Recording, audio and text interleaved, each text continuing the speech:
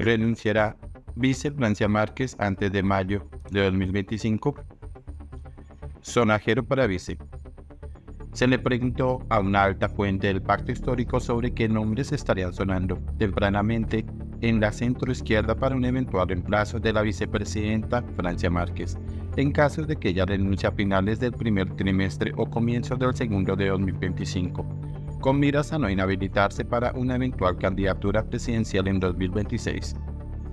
Creo que la vice sí va a renunciar. Su equipo está seguro de que tienen oportunidad por la sucesión de Petro y hay sectores en el polo que están empezando a mover fichas en esa dirección. Si usted me pregunta, creo que la senadora María José Pizarro es una de las más opcionadas a ser la segunda bordo a partir de marzo o abril.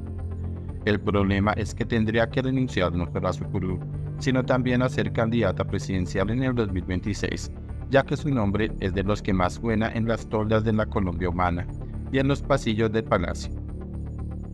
También suena el director de planeación Alexander López, pero más por el lado del polo, precisó la fuente. En mayo como máximo. Aunque Márquez no ha dicho nada al respecto, lo cierto es que los cálculos que se hacen en algunos sectores de la centro izquierda es que tendría que estar renunciándose a finales de marzo o de abril, con el fin de que el Congreso no acepte la dimisión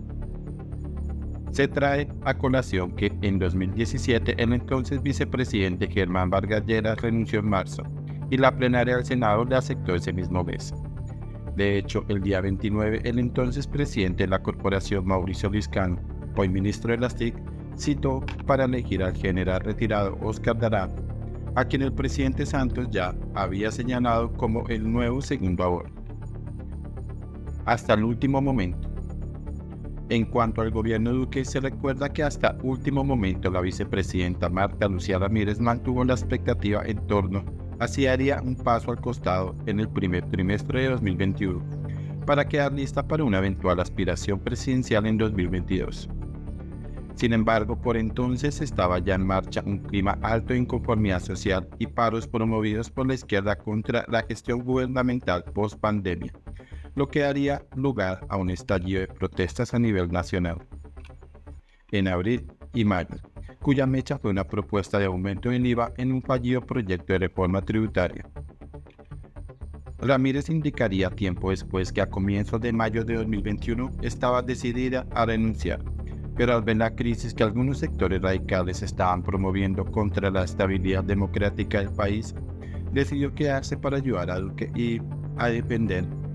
la institucionalidad. Gabinete Peso Pluma.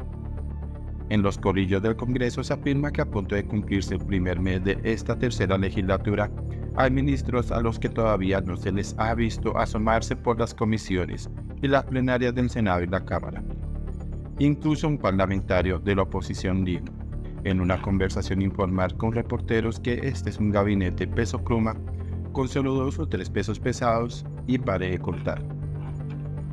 Agregó que ahora, en la discusión del proyecto del presupuesto general para 2025,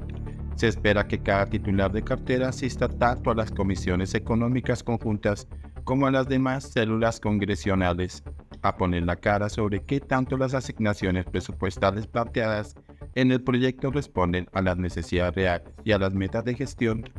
para el próximo año. Niña y presupuesto. En el arranque de las discusiones en el Congreso alrededor del proyecto del presupuesto general de la Nación para el próximo año, que está financiado en 12 billones de pesos,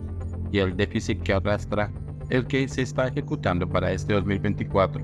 pese al recorte de 20 billones de pesos que se aplicó hace tres meses, algunos senadores han indicado que el descuadre podría ser mayor. La razón los pronósticos del director de la Unidad Nacional de Gestión de Riesgos de Desastres, Carlos Carrillo, en torno a que si el fenómeno climático de la niña, que ya comenzó a sentirse en Colombia, es parecido al de la época 2010-2011, el monto de los daños y otras afectaciones podría estar por encima de los 20 billones de pesos. Como lo advirtió el gobierno hace tres semanas al lanzar el plan de contingencia contra la niña, el país podría enfrentar desde este mes y hasta comienzos de 2025 no menos de 2.600 eventos de emergencia, con un promedio de 15 diarios. La mayoría de estas contingencias estarían asociadas a inundaciones, 5.000, movimientos en masa, 3.000,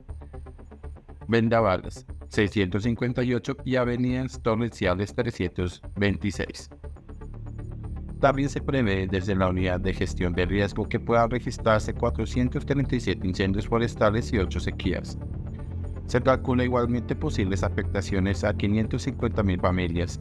16.000 viviendas destruidas, 224.000 más averiadas, así como impactos negativos en 2,2 millones de hectáreas de cultivos y más de 6,1 millones de animales.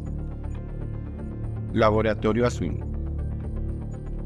En las toldas del Partido Conservador crecen las voces que consideran que tanto la presidenta del Directorio Nacional de la Colectividad, senadora Nadia Blair, como el ex titular de este cargo y hoy presidente del Senado, Efraín Cepeda, deberían comenzar a contactar y convocar a los posibles candidatos azules a la Casa de Nariño en los comicios de 2026. Según algunos parlamentarios, la idea sería ir analizando con ellos la estrategia electoral, los énfasis del discurso partidista y hasta mecanismos para aumentar la exposición de cada uno de esos nombres ante los directorios regionales y locales, así como con las propias bases de la colectividad en todo el país volver a Coldeportes.